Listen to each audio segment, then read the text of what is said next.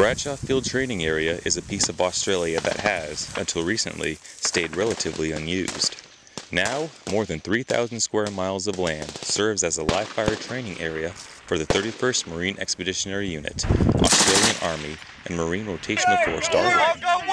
Since the beginning of Exercise Koolendong 13 just days ago, the three units have been using the range with positive results. Uh, with exercise Koolendong at BFTA, uh, it's large enough we can exercise combined arms through artillery, mortars, aviation. The space allows us to do a lot of things realistically, moving the battalion landing team ashore uh, and exercising all those different warfighting functions.